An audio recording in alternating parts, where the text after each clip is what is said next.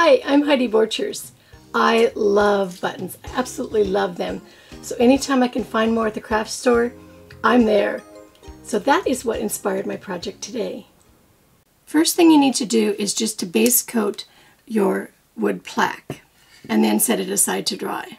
For this project, I'm using the Aleene's Max Tacky Adhesive. It's clear, it's all-purpose, it's perfect for this project. I also have a piece of foam core that's about an inch and I've drawn a line right along the bottom about an eighth inch from the bottom so that I can line my letters up. I have craft foam letters that you can buy already cut and I'm just going to put my Max Tack on the back of the letters. Now be sure that you do them where they're in a mirror image and backwards because when you go to print them, you want to make sure that they will print the word correctly. Okay. Now you need to set this aside until it dries. Before you actually stamp your plaque, make sure that you know where your letters are. So I just drew a pencil line on each side and the bottom so I know exactly when I go to put it on where it is. And all you do is take your brush and some acrylic paint and just put it on. And always test it first too before you go on the plaque. Always take a piece of paper and test it first.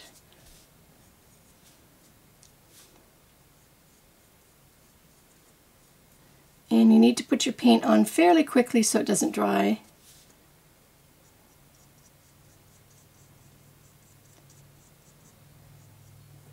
And we are ready to stamp.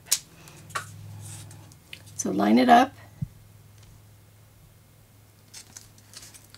and push it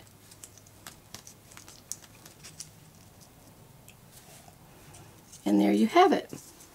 And then you continue to stamp your different words. I have love, live, and laugh. Do the whole plaque and it'll look like this. I also put a whitewash of color so that it would tone the bright color down.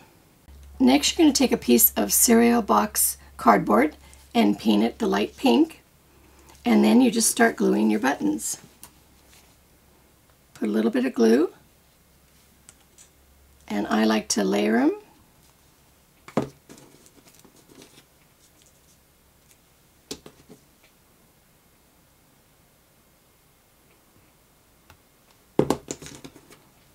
and completely cover your whole heart. When it's completely covered and all the buttons have been glued, make sure you let them dry and then you want to glue it on to the plaque. And just simply use your Aleene's Max Tacky Adhesive and put it into place. I also drilled the top I added a piece of wire and put some beads on and then glued some buttons in between. And you have a perfect plaque for your wall. So be sure to add some live, love, laughter to your life. The Aleene's Max Tacky adhesive is available at Michael's. It's terrifically tacky and creatively cool.